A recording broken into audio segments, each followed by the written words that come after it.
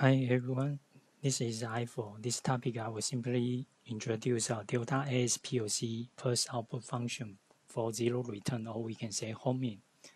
You can see the system architecture. For the power supply we use a, a delta Lyte 2 series. You can see this is the compact design uh, with a 5 amp output. Come to uh, PLC and the servo wiring. We connect DC24 to uh, pole high and uh, sink source of PLC. Uh, C0 we connect to uh, power supply DC, uh, 0 volts. Per signal uh, Y0.0 and Y0.1 we connect to servo of 41 and 37. Then come to uh, phase, uh, we connect the signal OCZ uh, to PLC input x0.2 and we have to define this defect function uh, in the hardware config. We will mention about this later. And x0.0 we connect to the dock sensor or we can say home uh, sensor. You can see this is the uh, instruction for zero return or we can say homing. So uh, you can see we have uh, these symbols uh, S1 to S4. S1 means the homing for high speed, and S2 means homing for low speed. S3 is the homing mode, and S4 is the uh, dock signal or home uh, signal. In this example, we use uh, X0.0. Uh, D means uh, pulse output device. Here we use a uh, Y0.0. And as you see for this one, uh, even we define a uh, variable or symbol, but we still to assign the exact address. And you can see this is the explanation of our, uh, each ASIC's uh, special register and spatial Y and device. So as I mentioned, uh, we use a Y0.0 and Y0.1 and this one we can check the status from uh, special flag SM uh, 560 and 561 and we can check the current position from special register 460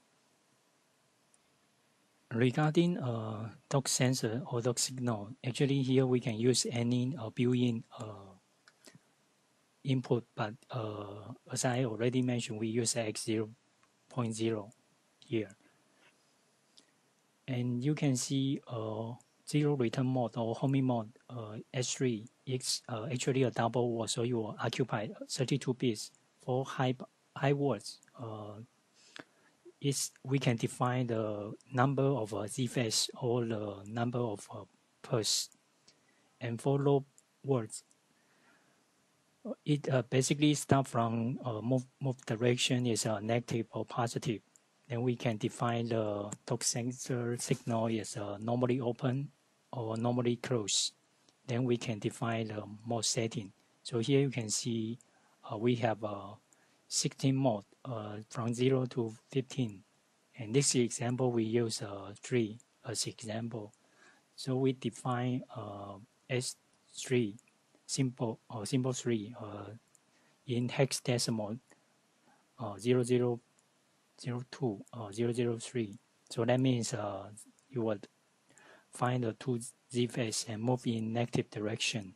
And dock signal is uh, normally uh, open, and then you will find the z phase. So you can see the uh, sequence here. We trigger, uh, we enable this API instruction. So you will find the uh, dock sensor signal once this one become from uh, off to on and on to off, then you will search the Z phase twice and then complete the whole process. Then how to define the Z phase and the positive or negative uh, limit? We can uh, double click inside the hardware config. So then go to the position uh, control parameters. And this example, we use a Z phase, so we define X0.2 here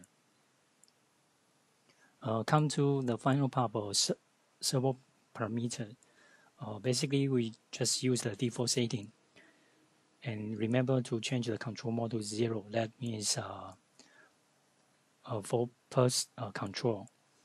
And this example later will show you uh, when PLC the output frequency is 100 kHz, then the motor speed will equal to 100 kHz multiplied 60, then uh, divided by the uh, value over here. So that means uh, it will equal to uh, 60 RPM. So this is what I mentioned. So we have to define the homing mode first, then uh, we have to define the uh, sensor signal and pulse output. Then we can check the position, uh, current position. We can download the program, switch online. Then we define 100k hertz over here. For the uh, jog frequency or low speed, we define 10K. Okay, before that, we can uh, connect to servo.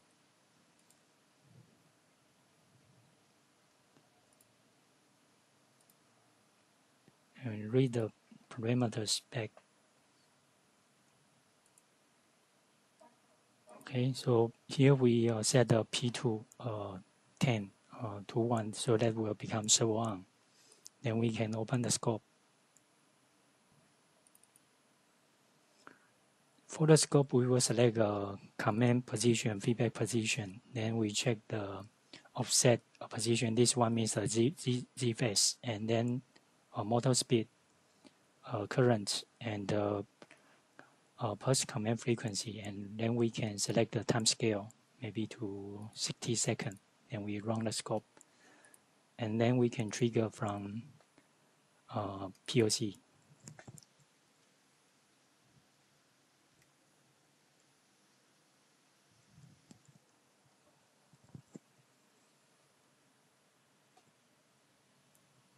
So you can see once uh, it find the Z phase, uh, current position will become zero, and then we back to servo, stop the scope, and we can check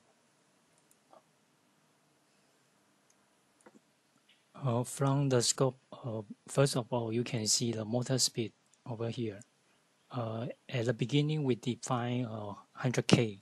So that means that you will go to 50 Hertz. And then we define to 10K, so you become 6 Hertz. So, uh, sorry, 6 RPM. Then we can scroll down to check the uh, frequency command. So here you can see uh, from 100k to 10k, just the uh, but you will see the minus just the direction difference. Okay, and then we uh, unselect untick this one.